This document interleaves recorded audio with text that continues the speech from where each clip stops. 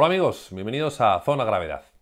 Vamos a ver la característica fundamental de los neumáticos inflables, digamos, que tienen aire en su interior.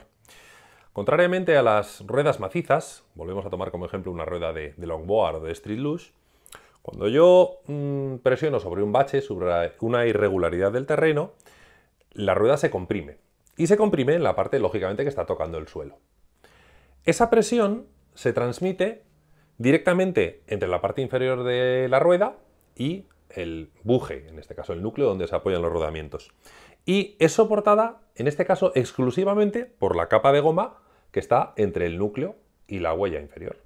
En el caso de un neumático, vamos a tomar la cámara como si fuera un neumático entero, cuando yo mm, paso sobre un bache y presiono, lo que estoy haciendo es deformando ligeramente la parte que está en contacto con el, con el bache o con el suelo, simplemente por el peso del vehículo, y aumentar la presión del aire que está dentro.